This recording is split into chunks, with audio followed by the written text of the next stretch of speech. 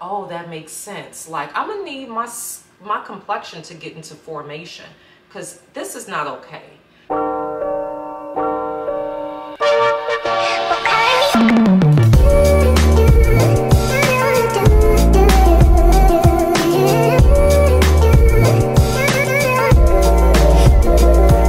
What's up guys, welcome back to my channel. I am Letitia and this is That's So Letitia. And to all of my new viewers, supporters, subscribers, welcome guys. Thank you so much for clicking on this video. I hope you enjoy the content. And to all of my returning viewers, supporters, subscribers, welcome back guys. As always, it is a pleasure to see you. Without further ado, let's jump into this video. So, of course, of course, of course, we are going to do our makeup. Honestly, I don't see myself using anything but this. If you guys are looking for a new primer, she's not here. At least not yet. So, let's go. You already know the Danessa Myricks Yummy Skin Water Powder Primer. This is my holy grail, okay? The date that I just went on, I was able to pull off being in the heat. I wanna say I left home at about three, no, it was about two in the afternoon. We're old, okay? We tried to maximize daylight. But um, I left home at about two-ish in the afternoon. And I, of course, use the Yummy Skin Water Serum. And when I tell you, we went to multiple places. I was in multiple Ubers. We were on multiple sides of town. It's, it's nothing like it. It is nothing like it. That day we were still dealing with the heat wave. So it, I wanna say at about maybe 10 o'clock that night, yes, we were still out. It, the temperature had got down to about 110-ish. And when we started out, it was well into the 100 and teens. So I'm speaking like 115 degrees. This is Nevada. There is absolutely no shade, not even under the palm trees. The only shade you are going to find is the shade that you get from the casinos when you give the slots all your money and they give you nothing in return. This, along with the blurring balm, I was sweating everywhere else. I even had sweat like pouring from my hair, my dress, my back. I was drenched. I had a ball, but I was sweaty. When I tell you, by the time we actually did make it home and my face was still beat, my face did not skip a step. I'm like, oh yeah, this this is this is me and her for life. And the fact that I did not have to keep going in the restroom, reapplying powder and blotting tissue and all of that, I was actually able to be present and not have to worry about my makeup creasing, budging, smearing, or ultimately any oil. That was amazing. That made the day even that much more better because I wasn't spending half the time looking in my mirror to see if I needed to reapply makeup or excuse myself to go and reapply makeup. So girlies, I'm just saying, you need this. You need this. That is something about me. When there's something that I genuinely love, you guys will know about it because you will almost see it in every video. I mean, it is what it is. And now I'm just applying some Fenty Beauty Matchstix in shade Pumpkin for my color corrector. And I'm going to use Fenty Beauty Pro Filter Instant Retouch Setting Powder in Nutmeg. I use this to set the color correct, just so we are not having any sort of orange to show up through our foundation This is a great way to set the color correct. And then also, if you are a oily person, you can use this as I've learned before watching several beauty gurus. You can use this as a means to actually help combat oil to show up through your foundation. And since this is pretty much me shopping my stash, I'm going to use the Born This Way Undetectable Medium to Full Coverage Foundation by Too Faced and the shade that I use is Chai.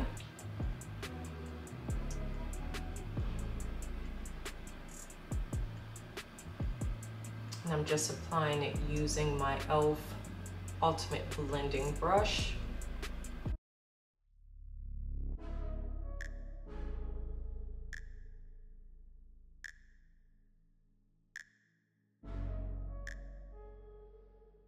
So now I'm going to use concealer. This is by Danessa Myricks. This is Lift and Flex Concealer, also from the Yummy Skin line. And the shade that I use in this one is 13. And also I'm going to use Tower 28. This is a serum concealer and the shade I use in this, oh my gosh, the, it's always super tiny on here so it will always be down here somewhere for you guys. Then this should also help brighten it up. I remember going to Sephora to be color matched one day and the associate was color matching me in NARS so she color matched my face and got Macao. She color matched my neck and got Carcass. And she's like, okay, do you want to match with your face or do you want to match with your neck? I was like, girl, look, give me Macao. But that was also because it was in the winter. So I wasn't wearing like low cut shirts. I was wearing sweaters. But that just goes to show that there is a difference. And I mean it's not unique to me. We a lot of us deal with it especially if you're melanated. Like God bless you if you are just one shade if you just have one tone to your complexion. I love that for you. And now using a damp beauty blender just going to begin to blend in the concealers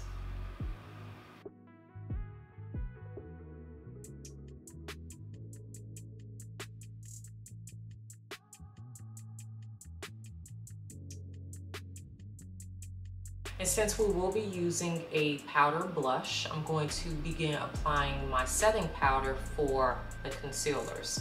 I am going to be using by Anastasia Beverly Hills Deep Peach.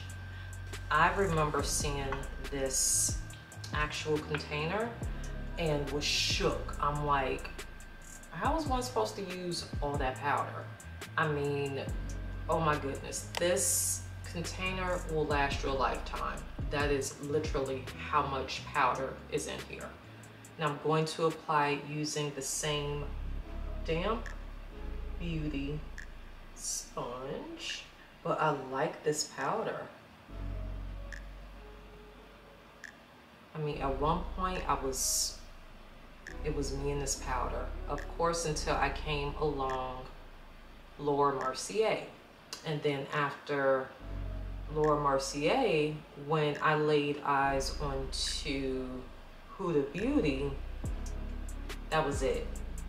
Like, do you guys have any particular brands that, for one thing, you go to that brand, it may be a setting spray, it may be a skin tint, it may be foundation, a primer. But for me, I do have certain brands that are just like my everything when it comes to certain things. Like I can find them in the dark and not even have to second guess what it is that I'm using for a particular day, a particular look, a particular mood, particular temperature. Like, oh my goodness. especially when I was baking. You see how big this is? Just knock some right in the cap and just get the going.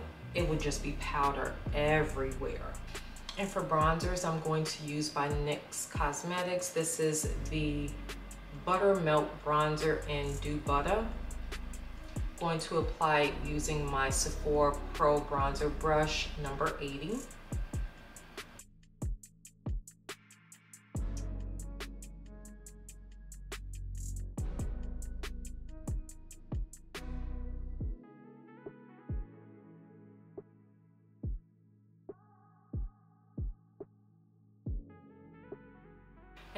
Blush, I will be applying Mented Beauty or Mented Cosmetics blush in Clay Too Much.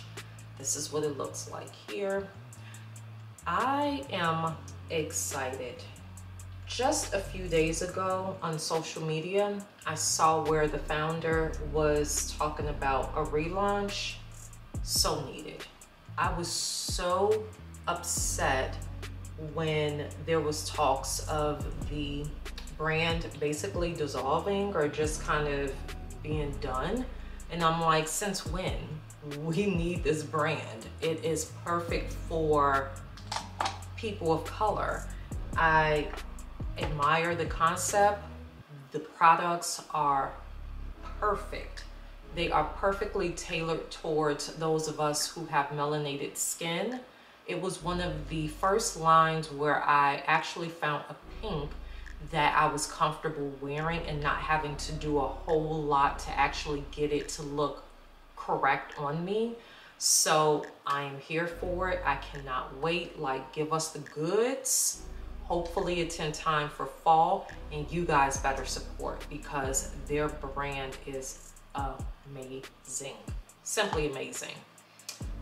Just do this here.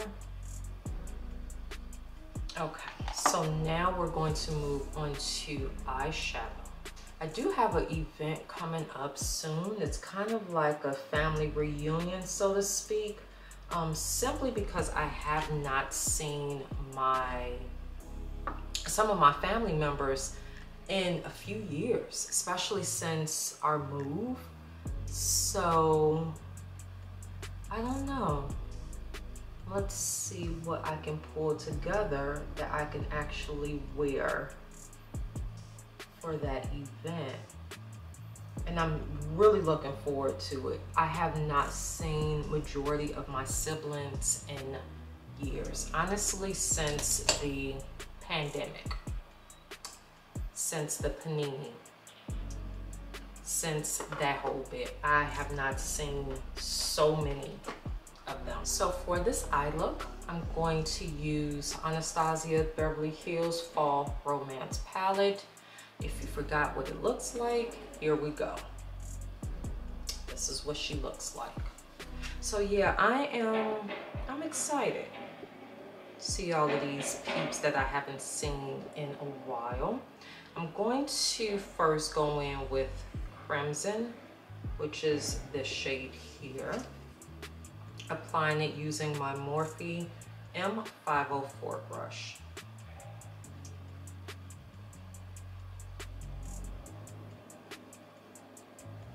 Then I get to travel back home. That's gonna be fun. I look for any excuse, well, almost any excuse to go back home. Yeah, sign me up.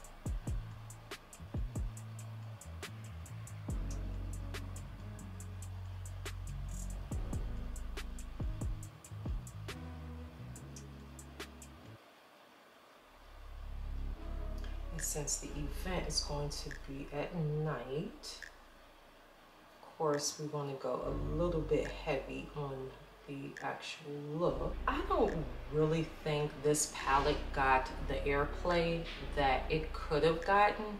I'm not even quite sure why, but it just, it just seemed like we were all here for Divine, which is the purple shade.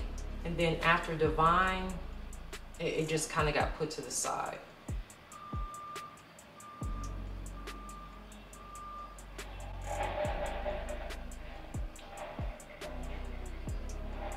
And then I'm going to take a less dense brush. This is the Makeup Shack T64.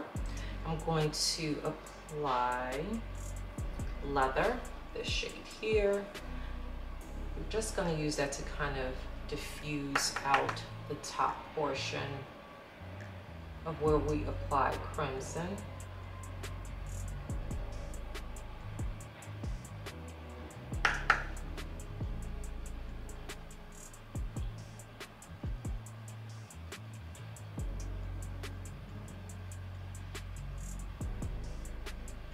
Let's do, first let's do Mulberry, the shade here. I'm going to use the same M504. Hmm, cute.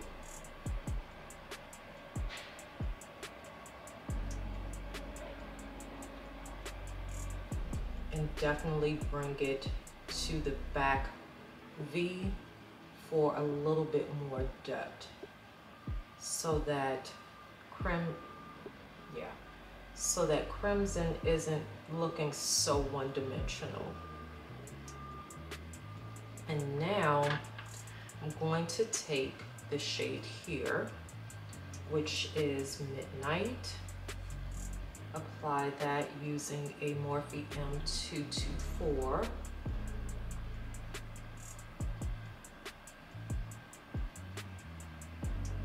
We're going to lay that on top. Maybe if I spray it, It'll give us better payoff. So I just sprayed it using some setting spray.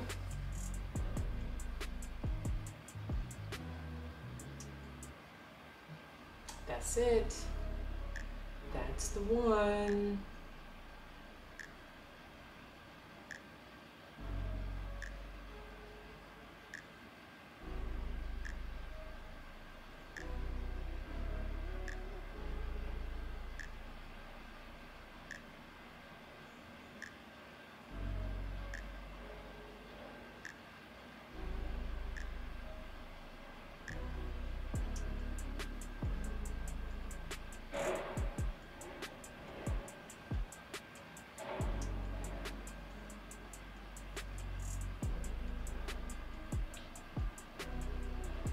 And then I think what I'm going to apply, let's use uh, Moonlight, which is this one here.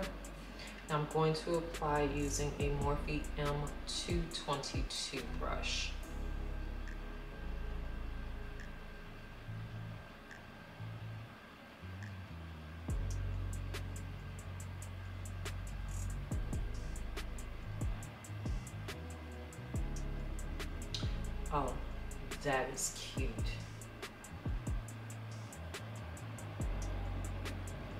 All right, so I'm going to line my eyes using a black liner by Haus Labs. This one is Black Onyx Matte. States it is a Optic Intensity Eco Eyeliner. Let's see.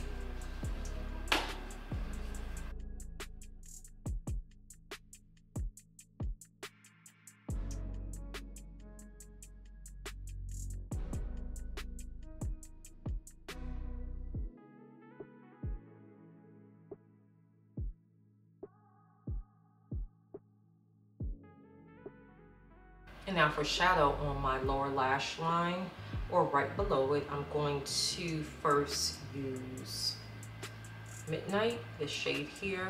Now I'm going to apply using a Eco Tools, uh, what is this? This is a Define brush.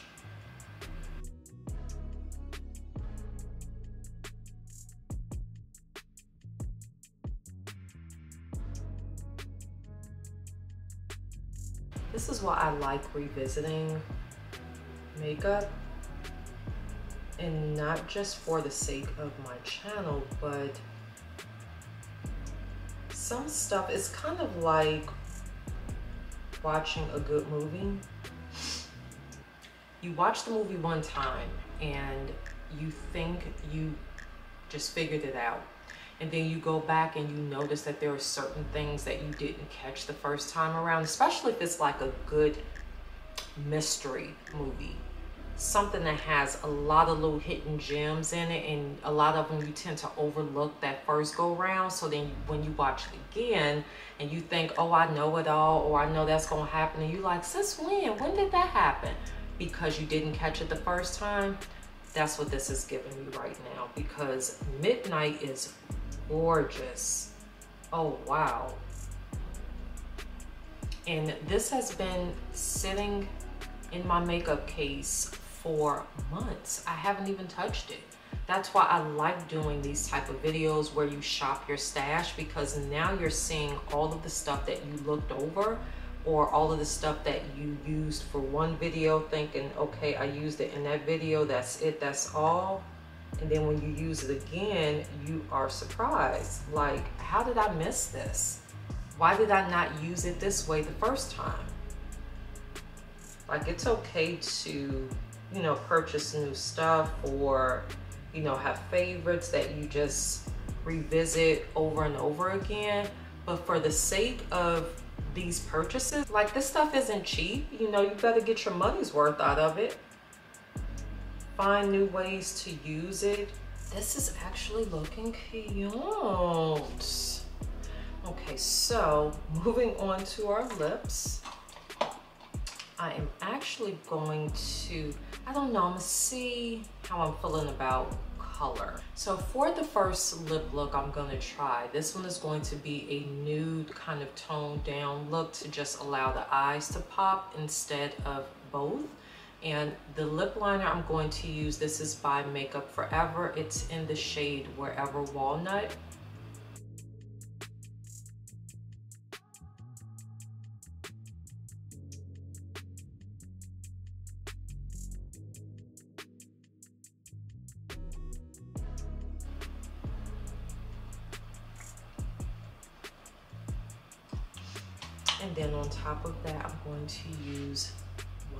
Favorite nude lip glosses. This is by ColourPop and it's in the shade, I believe this is Major Throwback.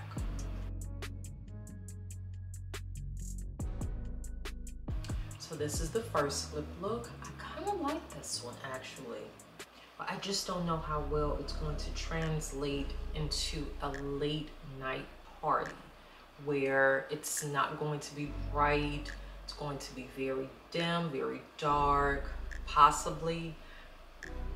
But I like this. I feel like it complements it well, especially if this was like for early evening, maybe afternoon into early evening before it gets dark. So this is the first one. What do you guys think? Yes, no? In the comment box, make sure you let me know which lippy you would wear with this look. You guys have to help me. You have to help me choose my lippy. So again, this is one. For the second lip look, this one is more deep and more sultry, kind of late night party appropriate. I'm going to actually line my lips using the matte liquid lipstick by Anastasia Beverly Hills and Trust Issues.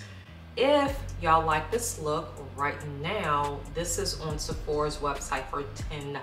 $10. I would I would jump on it. This is a very pretty, deep rose, cool toned lippy.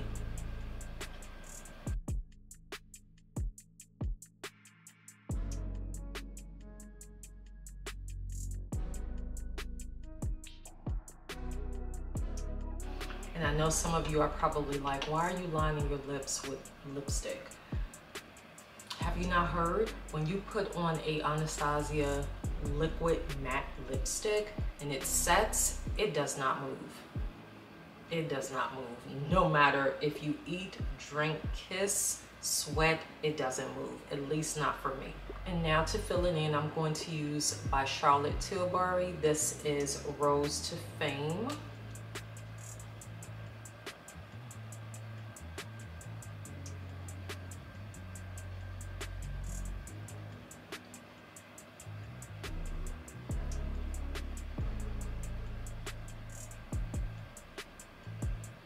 This one is really cute too.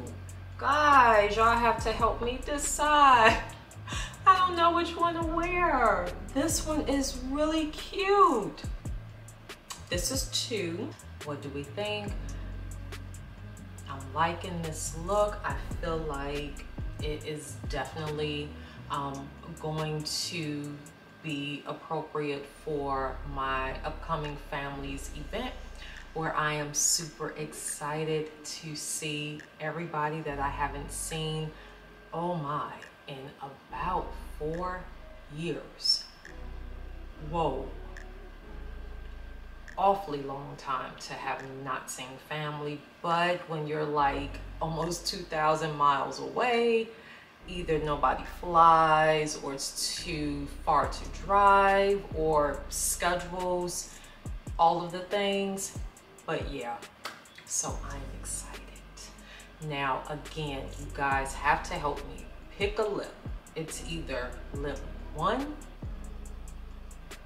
or lip two. Let me know. And in the description box below, there is going to be a list of all products used to achieve this look. Guys, be well, stay safe, exercise self-care. It is not a privilege, but a necessity. Check on your strong friends after you check in with yourself.